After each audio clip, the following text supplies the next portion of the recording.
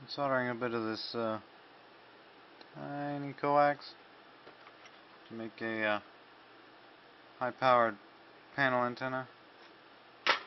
I have some parts I pulled uh, and all this junk and figured out if you uh, cut the outer sheath solder this stuff put a little score line around the outside. You just bend it one way and then the other.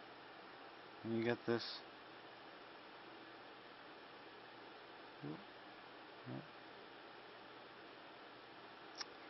Probably not going to focus on that now.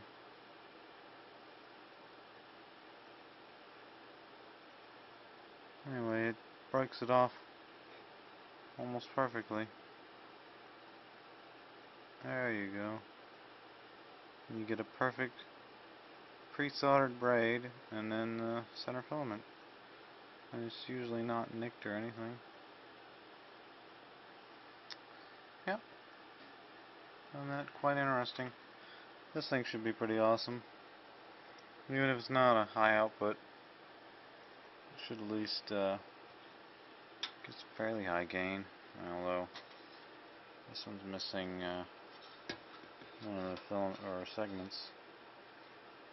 Kind of disappointed about that, but at least there's one. Ought to make a pretty awesome uh, long-range wireless antenna. We'll see.